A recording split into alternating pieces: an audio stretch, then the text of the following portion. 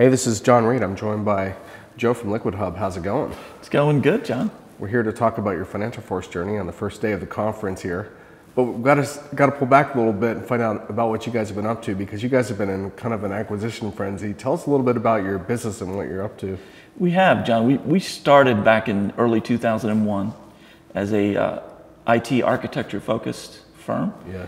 And over the past five years, we've uh, kind of been transforming ourselves into this uh, next generation digital agency type organization, delivering services all the way from a UI UX digital experience front end to a, uh, a run type organization. So think, build, operate. Right. In the, uh, and, and, we like to think that it's a kind of a focused on an, an empathetic version of engaging with your customer, whatever that customer may be. So part of that is helping ad agencies to better understand how to serve digital customers it, as well. It is. It is. We um, we believe we have the technical capabilities in the background to be able to take what an agency you know comes up with from a design and thought process mm-hmm. and implement that in a digital world. Right? And party acquisitions are explained by that too, because you're trying to acquire the talent to provide that full experience. Correct. We've acquired uh, two, I'll call them digital ad agencies in the recent past, okay. over the past couple of years. One being Foundry Nine out of New York. The most recent over the past uh, three weeks was a company called EVO out of San Francisco. And that just brings our full capability of front end to back end delivery. Not a bad way to hire New York and San Francisco talent. It gives us it? a really good footprint. Gives There's you a little no bit doubt. of an edge there. Mm. Now bring us to the FinancialForce piece. You guys are longtime Salesforce customers as, as well. We are. We, we're, I think, right around 10 years in the Salesforce platform. And so we had implemented that and running that to really manage the flow of business in, track our opportunities, drive towards our customers, that whole close rate ratio type stuff. And then uh, in April of last year, we decided to cut all of our one off uh, tools that we used to run the business over to the FinancialForce platform.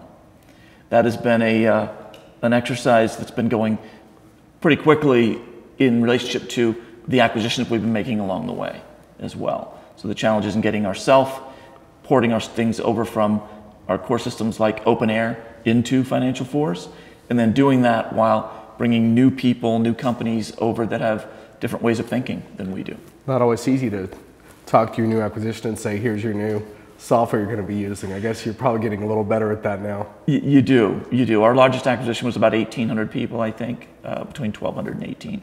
Um, and it's, it's still a challenge every time we do it.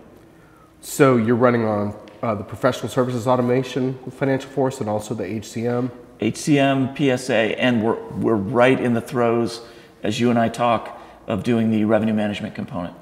Okay. And that is, uh, you know, uh, the way I like to think about it, it's connecting the dots. There, we, we went with FinancialForce because, because of the footprint we had with Salesforce and integrating that all the way through to the end. And the one piece that has been a little challenge for us is on the, the, the we use Great Plains as our financial package today mm.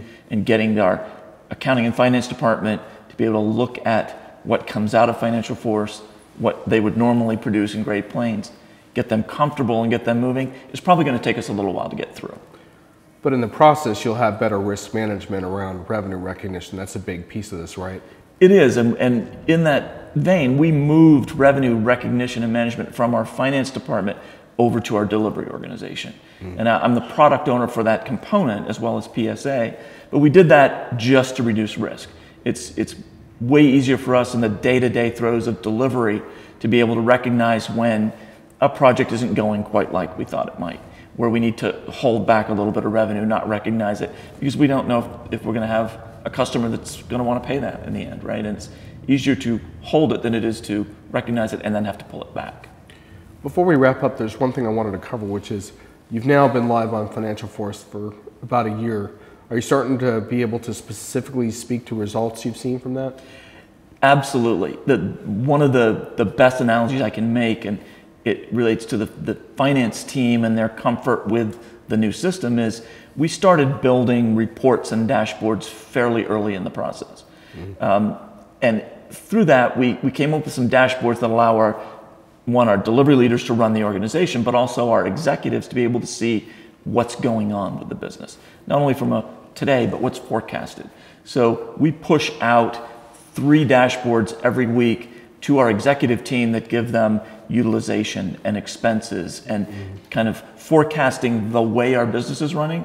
And our, our CFO has said to me multiple times that he lives in that dashboard on a weekly basis. Hmm. It's his truth, right? His source of truth or record of It's the kind of feedback that helps with the old job security, right? That's nice. It does. It does. That's nice. Well, listen, good luck with the next phase, and thanks for sharing your story with us. Thank you, Jim. Appreciate it.